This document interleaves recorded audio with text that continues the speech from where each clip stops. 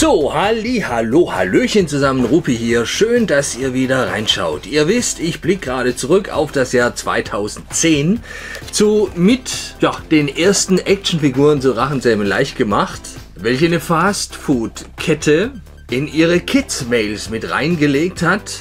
Hicks und ohne Zahn haben wir bereits angeschaut, gefolgt von Astrid und Sturmpfeil. Jetzt ganz schnell hier mal Hakenzahn angeschaut ob das Licht noch leuchtet. Vielleicht habe ich Glück. Ja, im allerersten Video habe ich schon ein bisschen was dazu gesagt. Das brauche ich jetzt hier nicht nochmal wiederholen. Ich habe hier alles noch original verpackt, in den originalen Tüten, wie ich es damals bekommen habe. So, was haben wir denn hier drin? Hier haben wir wieder dieses Beiheftchen. Wir haben Hakenzahn und die Flügel, die sind ja auch noch original verpackt. Dann lasst uns mal auf das Ding hier gucken. Überlegt euch mal extra noch mit einem Karton hinterlegt, in der Tüte drin. Der Wahnsinn. Das war die aller, allererste Serie, die ich bei McDonalds abgegriffen habe. Ne? Wahrscheinlich waren das nicht mal die für Deutschland gedachten, sondern vielleicht aus England oder USA. Ich kann es euch nicht sagen, denn ich habe mir mittlerweile angelesen, dass die Geschichten hier in Deutschland ein bisschen anders ausgesehen haben, wenn man es nicht gleich als erstes abgegriffen hat. Ne? So viel zum Thema. Auch das nett gemacht mit dieser Buchschließe hier am Rand. Ich öffne das mal.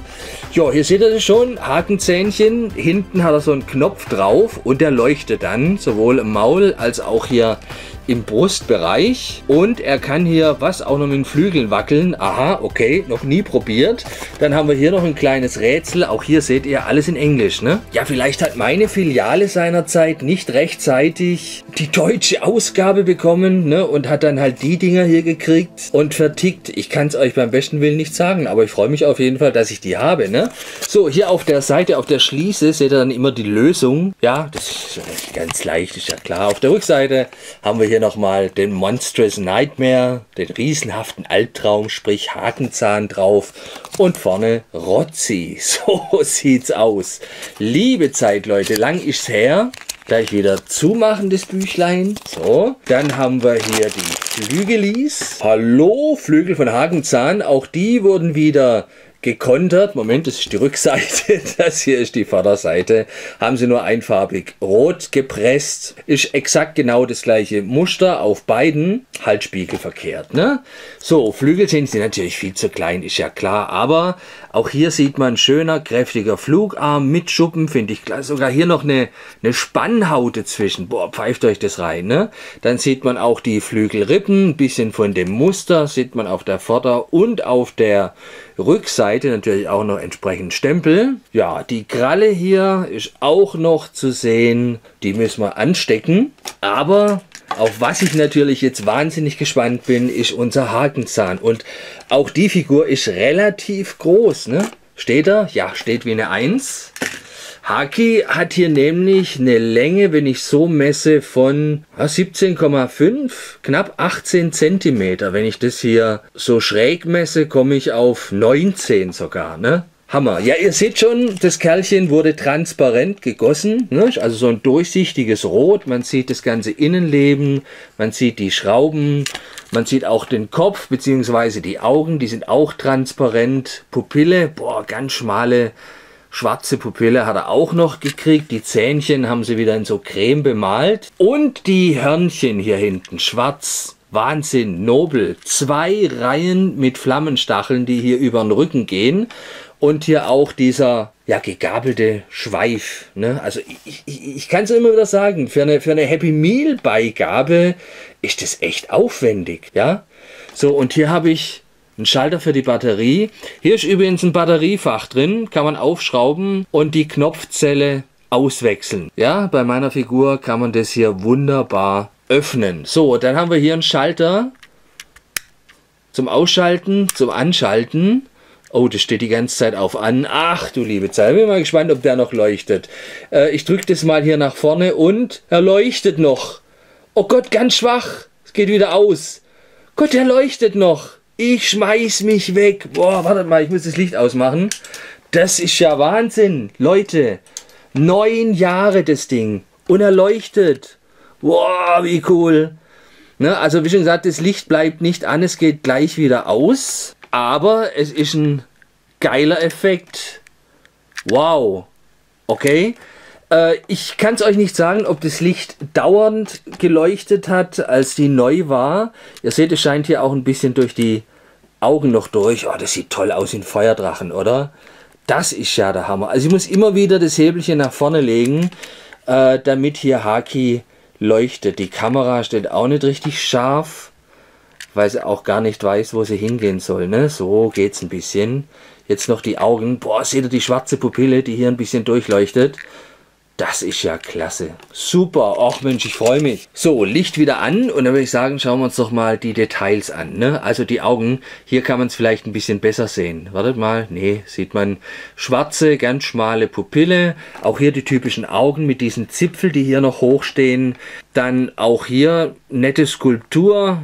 Was die Schuppen hier anbetrifft, man sieht die Nasenlöcher, das Hörnchen hier vorne, das Innenleben, die Zunge hier, die ist eher ein bisschen ja, orange, wahrscheinlich weil das Material da noch ein bisschen dünner ist. Weil sich auf jeden Fall einfarbig rot gegossen. Die Zähnchen haben eine unterschiedliche Größe. Auch hier unten sieht man das. Also das haben sie schon echt gut gemacht, muss man sagen. Na, für eine Megas-Figur, hallo. Die Hörnchen haben eine Struktur, ne, sind so unterteilt. Das gefällt mir natürlich angelegt, damit nichts abbrechen kann. Dann seht ihr auch die vielen feinen Schuppen, die sich hier vom Kopf über den Hals ziehen. Dann auch die Flanke entlang. Hier sieht man eine Schraube. Hier werden die Flügel eingesteckt, das machen wir gleich. Dann auch die Schuppen hier über das Bein drüber, hier hinten noch ein paar Stacheln dran. Die Krallen hier vorne, es kommt schon richtig gut. Und die Schrauben kann man hier sogar verzeihen für so eine Spielzeugfigur, für eine ganz billige Spielzeugfigur. Gut gefallen mir auch die Stacheln, wie sie das hier gelöst haben. Natürlich, die haben sie nicht einzeln gemacht, weil die würden euch sofort abbrechen. Ne? Von dem her haben sie nur einfach so ein bisschen geprägt, damit die ein bisschen so rauskommen. Aber zwei Reihen und auch eine andere Schuppenanordnung in der Mitte, die hier über den Rücken läuft. Das ist super cool. Finde es auch toll, dass sich der Schweif hier noch ein bisschen schlängelt. Ne? Das ist doch klasse gemacht. Wow, hier der an- und Ausschalter, ne? links ist 0, rechts ist 1, dann hier das Hebelchen, wo ihr drücken könnt. Nach vorne leuchtet und nach hinten, glaube ich, bewegen sich dann irgendwie die Flügel. Oh, ich kann mich jetzt aber auch täuschen. Wir werden es ja gleich sehen. Ja, und unten auch einfach breite Schuppen. Aber das sieht klasse aus. Leute, ich freue mich so dermaßen, dass der noch leuchtet. Boah, Haki nach zehn oder mindestens neun Jahren. Das ist so irre. Ich sage deshalb zehn Jahre, weil vielleicht die Vorproduktion ja auch noch ein halbes oder ein ganzes Jahr lief. Denn die Figuren liegen halt auch noch entsprechend auf Lager, bis sie ausgeliefert werden. Ne? Also so viel dazu. Ich bin auch total begeistert, wie er steht, unser Haki. Gut, dann mal die Flügel hier dran machen. Der hier, nee, hier, hier drüben. Ja, seht ihr das? Hier ist auch so eine Form drin, damit ihr die Flügel richtig anbringt. Also der kommt definitiv hier rein. Zack, einmal, okay. Dann der andere Flügel. So rein. Ja, sehr schön. Ne? Und so sieht es aus, als ob sich Haki tatsächlich aus seinen Flügeln hier aufstützt. Super. Ja, das ist doch nicht schlecht. Ne? Sie sind natürlich viel zu klein. Und ja, ne, der Drache ist transparent. Da knallen dir die massiv gegossenen Flügeln extrem entgegen. Aber ich finde es irgendwie cool. So, jetzt passen wir auf, jetzt müssen wir mal probieren. Wenn ich es nach hinten drücke, dann flattert der mit den Flügeln. Guckt euch an. Nach vorne leuchten, nach hinten flattern. ist ja cool. Das ist doch eine super Actionfigur. Ich meine, für ein Happy Meal, hallo? Du gibst hier für, für Spin Master Drachen Haufen Geld aus äh, und da ist die Action, sind wir mal ganz ehrlich, auch nicht besser teilweise, oder? Ne? Das ist doch, das ist doch cool. Ich sag ja, damals, 2010, hätte ich wahrscheinlich, ein, ein, keine Ahnung, die Figuren aufs Übelste beschimpft. Heute muss man sagen, mein Gott, das ist, das ist Nostalgie pur. Ne? Auch hier oben sieht man schön leuchten. Ich tue mal das Licht noch mal ein bisschen auf die Seite. So.